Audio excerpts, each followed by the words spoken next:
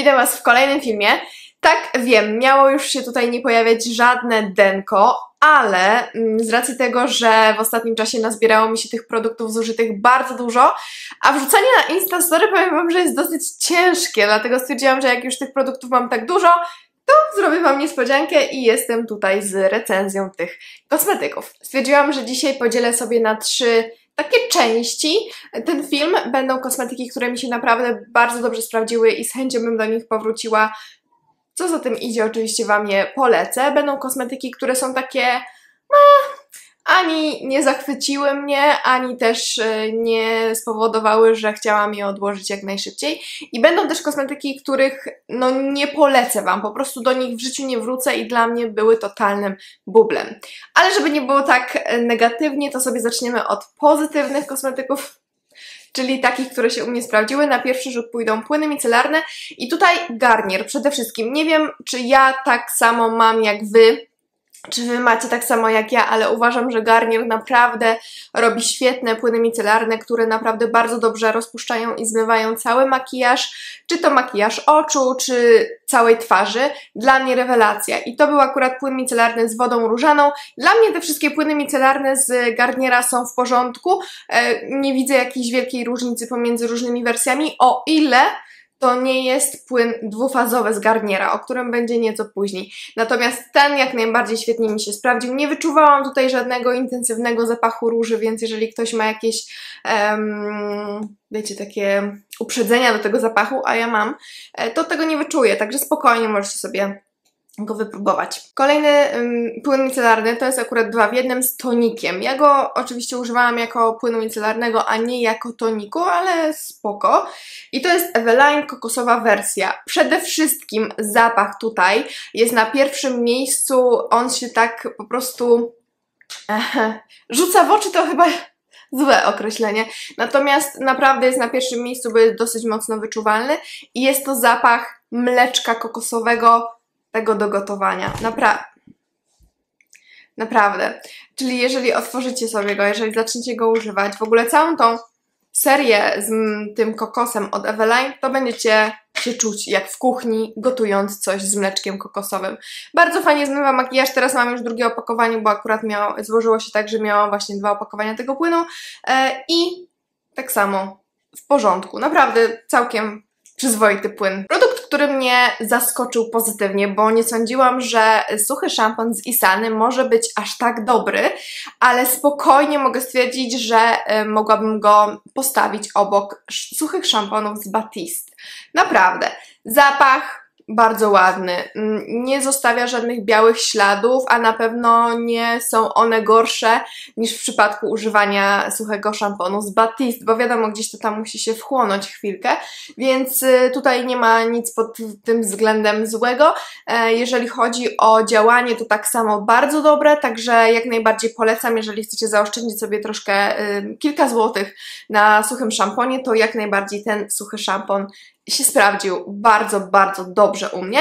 E, był może troszkę mniej wydajny, wydajny niż Batiste, ale to też nie wiem, czy jego tutaj nie ma mniej. Natomiast e, mi to nie przeszkadzało. Ja też tak bardzo często suchych szamponów nie używam, także bardzo polecam. Mamy teraz rzut na kremy z filtrami SPF.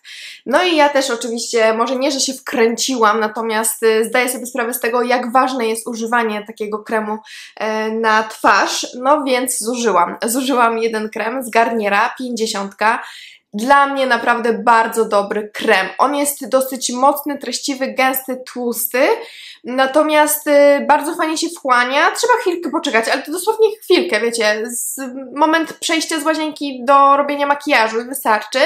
Um, nie zapycha mnie, o ile dobrze oczyszczacie sobie wieczorem twarz, bo to jest bardzo ważne przy filtrach.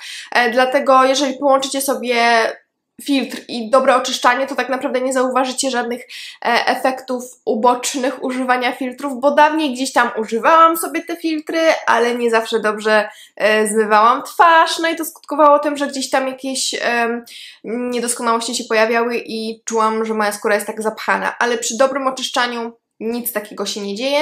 Bardzo dobry krem, naprawdę czuć, że no, ta twarz jest chroniona. Od momentu, kiedy go używam, nie poczułam żadnego spalenia, czy nawet nie dotknęło mnie słońce na twarzy, nie mam tutaj żadnego zaczerwienionego nosa, czy to byłam w górach, czy po prostu po mieście sobie śmigam, nic. Także bardzo Wam polecam. Możecie nie widzieć dokładnie nazwy tego kremu, bo ja go przecięłam na pół, bo chciałam wydobyć z niego jak najwięcej i co się okazało naprawdę, jak e, czujecie, że już krem się kończy, a przetniecie go na pół, to tamtego kremu jest naprawdę jeszcze dużo. E, no więc on wygląda mniej więcej tak. No. Kolejny produkt do twarzy, który u mnie się sprawdził rewelacyjnie, jest to serum z Pixie z serii e, rozświetlającej z kwasem glikolowym. Nie mogę się wysłowić. I to serum, powiem Wam, w połączeniu z w ogóle całą serią, jakby z tym kwasem glikolowym, no działa na moją skórę cuda. Przepięknie złuszcza, przepięknie wyrównuje koloryt całej skóry, łagodzi gdzieś tam jakieś niedoskonałości. Tak naprawdę sprawia, że ta skóra jest taka jakby nowa. Przy takim regularnym używaniu toniku i na przykład tego serum, to naprawdę możemy zauważyć, że ta skóra jakby cały czas jest taka świeża, cały czas jest taka czysta, bez, bez niedoskonałości. No generalnie naprawdę rewelacja. Ja uwielbiam kwas glikolowy w kosmetykach, moja skóra tak naprawdę uwielbia i na pewno jak gdziekolwiek będzie, czy jeżeli dostanę kolejne opakowanie właśnie tego serum z Pixie, to na pewno będę używać w ogóle całą tą serię z kwasem glikolowym. Uwielbiam i Wam serdecznie polecam to serum. I było bardzo wydajne też. Ona ma tutaj pompkę, znaczy pipetę, i super, naprawdę, bardzo dobrze się u mnie sprawdziło. Oczywiście, oprócz filtrów SPF jesteśmy dalej na topie używania żeli antybakteryjnych. Zużyłam tutaj sobie żel antybakteryjny z Balea, miałam go w torebce, więc tak... E, znaczy, ja częściej używam w samochodzie, po prostu wsiadam do samochodu, używam sobie tego żelu. W torebce rzadziej, więc ja go używałam, używałam długo. E, natomiast pięknie pachnie, malinkami, e, tutaj nie ma jakiegoś przykrego, takiego nieprzyjemnego zapachu. Jeżeli będziecie mieć okazję, to jak najbardziej polecam te żele. Fajna opcja kupienia sobie jeszcze takiego etui silikonowego, e, gdzie możecie sobie zawiesić, czy nawet w samochodzie zawiesić, czy przy torebce, gdziekolwiek e, będziecie chcieli. Naprawdę fajna, fajna sprawa, no i pięknie pachną te żele. Dłonie to również i krem do rąk. To był krem, który miałam akurat w samochodzie i zauważyłam przy nim to, że, znaczy pewnie w większości kremów tak jest, ale na przykład jak była zima i były mrozy, to wiecie, on by tak był gęsty, że ledwo w ogóle mogłam go wydobyć z tej tubki. Natomiast jak jest lato, to po prostu on się leje. E, no, w każdym razie jest to krem z Garniera, z tej serii Garnier Bio, z olejkiem e, arganowym i naprawdę bardzo dobry krem do rąk. Raczej z tych lepszych niż z tych gorszych. E, nawilżał, nie potrzebowałam kolejnej warstwy, żebym czuła taki komfort na dłoniach, także jak najbardziej na plus. Bardzo fajny i taki kompaktowy krem do rąk, który wsadzicie sobie do torebki, do samochodu, wiecie, malutka tubka. Krem pod oczy. To naprawdę był chyba jeden e, z niewielu kremów do, pod oczy, e, po którym zauważyłam efekty. Zauważyłam efekty zniwelowania cieni pod oczami. I to jest krem z Only Bio się nazywa i to jest wygładzający krem pod oczy z olejkiem konopnym, z CBD i z prebiotykami. No i ja go kupiłam, e, znaczy to, to jest taki trochę też przeciwzmarszczkowy i tak dalej, ale oprócz tego oczywiście, że fajnie nawilżał, był niesamowicie wydajny, ja już po prostu miałam go dość, mimo tego, że działał naprawdę super. Jest tutaj pompka, więc jest naprawdę bardzo e, wygodny w użyciu. Jest też odkręcany, więc ja resztkę już wydobywałam sobie e, tym tutaj patyczkiem. Mm, to właśnie oprócz tego wszystkiego on przepięknie niwelował stopniowo moje cienie pod oczami, które ja już tak chyba po prostu mam i tak będę mieć, więc ratuję się jakimiś takimi kremami, które rzeczywiście coś tam mogą działać. No i ten taki był. Naprawdę bardzo dobry krem, znajdziecie go w Rossmanie. Ja go kupiłam w Rossmanie, kosztuje e, no nie wiem, koło 30-40 zł może, ale naprawdę jest tak niesamowicie wydajny, że my, będziecie myśleć, że on starczy Wam na zawsze. Ja też myślałam, że go nigdy nie skończę. I ostatni produkt, który się u mnie sprawdził tak w 100% i byłam z niego niesamowicie zadowolona, to odżywka do włosów z Garniera z serii Botanic Therapy i to jest wersja do łamliwych włosów chyba. Um, Tak. E, I to jest taka bardzo e, delikatna, mleczkowa odżywka. To nie jest gęsta maska. To jest taki lejący się właśnie no mleczko, tak bym to określiła. Przepięknie pachnie i przepięknie wygładza, jednocześnie nawilżając włosy. Naprawdę, ja byłam z tej odżywki niesamowicie zadowolona. Serdecznie Wam polecam. Znajdziecie ją w Rosmanie, na pewno jest często na promocjach.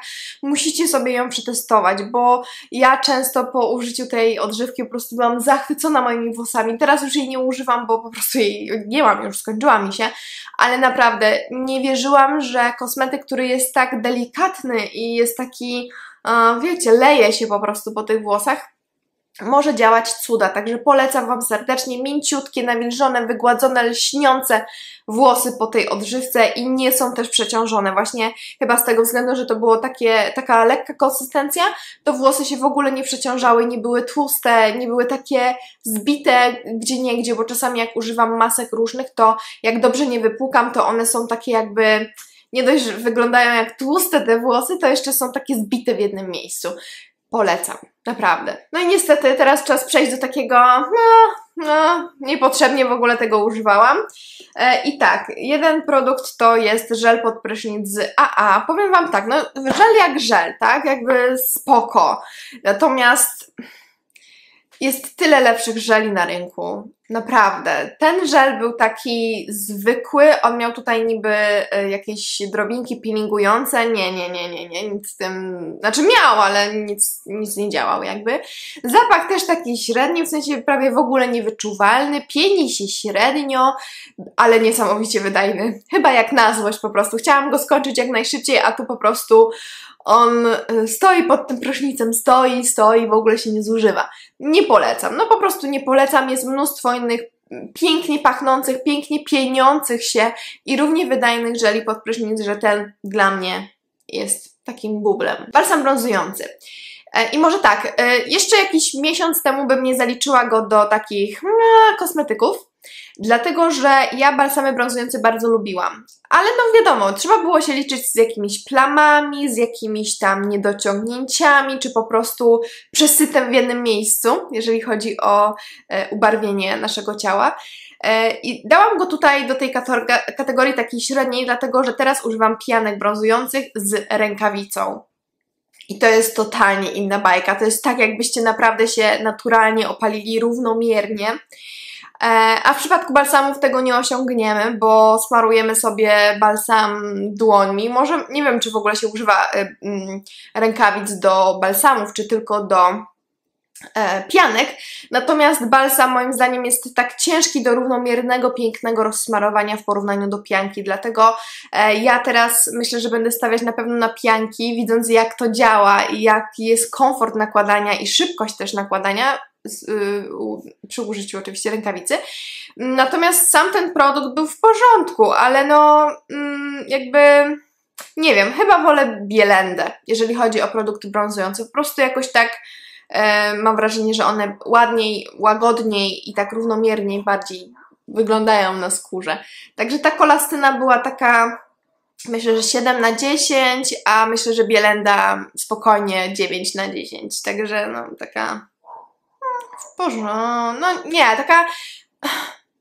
No nie wiem, są lepsze kosmetyki teraz. Odkryłam po prostu lepsze. Dwa ostatnie produkty, z których nie jestem ani trochę zadowolona. Ani trochę zadowolona.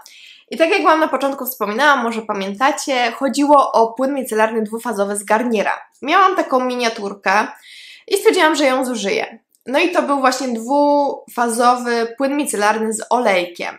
I makijaż długotrwały, wodoodporny, usuwa, odżywia, koi. No nie, nie, nie, nie, nie. Nie zgodzę się z tym. Um, usuwa ten makijaż tak połowicznie.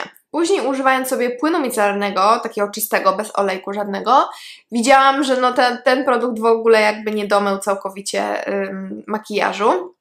Na twarz go nie używałam, używałam go tylko na oczy. Dla mnie w ogóle mm, to jest niekomfortowe używanie takich produktów. One są takie zarazem tłuste, zostawiają taką nieprzyjemną powłokę tutaj w okolicy e, oczu. Może nie jestem do tego przyzwyczajona, a, a może po prostu to rzeczywiście jest nieprzyjemne. Dlatego wolę płyny micelarne, które nie są tłuste i nie wiecie, no to, to nie było przyjemne, jak czułam taki e, film tłusty wokół oczu. Tutaj zawsze wolałam sobie to zaraz przemyć właśnie płynem micelarnym. E, no i też jak mm, on jest tak dwufazowy, że jest ciężko do zmieszania go. No to jest jakby oczywiste, jeżeli połączymy sobie olej i wodę, ale ym, ja wstrząsając go i chciałam szybko nałożyć na wacik, to on tutaj na waciku już się po prostu e, rozwarstwiał. Dla mnie takie kosmetyki w ogóle nie mają sensu bytu. Dla mnie. Ale jestem ciekawa jak u Was. Czy się sprawdzają takie dwufazowe płyny micelarne? Dajcie znać. I niestety ostatnie rozczarowanie Pixie. Niestety. To też tak jak patrzę teraz jest dwufazowe. E, to był e, nawilżający, mleczny zmywacz do makijażu. Tłumaczę z angielskiego na polski słowo w słowo. E, kokos i probiotyki. No i powiem Wam tak, że zmywać makijażu to on już w ogóle nie zmywał. Nie wiem, nie wiem, nie wiem, nie wiem, po prostu totalnie przykładając ten produkt na waciku, ja nadal miałam ten makijaż na twarzy, totalnie nie zmywał. Albo nie wiem, ile bym musiała tutaj użyć pompek, żeby, e, żeby go zużyć. No jest dwufazowy. Plusem jest taka pompka jak w zmywaczu do paznokci, ale e, no byłaby plusem, gdyby działała w porządku. Natomiast naciskając tutaj sobie, trzymając wacik, ten produkt zamiast na wacik, on szedł na boki. I przez to miałam zachlapany cały blat w łazience, przez to zużywa się kosmetyk gdzieś tam w powietrze, a nie na wacik. No generalnie dla mnie nie wypał. Nie wiem, nie wiem co się stało, bo ja kosmetyki Pixie bardzo lubię, natomiast ten produkt nie. No niestety, niestety się nie polubiłam i leci w kosz. Dla mnie totalny bubel, nie zmywa makijażu, opakowanie nie wyszło. No cóż, bywaj tak. Dziękuję Wam za oglądanie. Oczywiście tradycyjnie czekam na komentarze Wasze, dzielcie się swoimi opiniami, a my się już widzimy w kolejnym filmie i żeby nie przegapić żadnego, to pamiętajcie o subskrypcji. Do zobaczenia, trzymajcie się, pa!